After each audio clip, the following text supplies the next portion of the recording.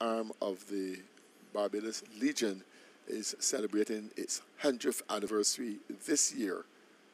And the Barbados, accompanied by the Chief of Staff and the Acting Deputy Commissioner of Police, She, this wreath I lay on behalf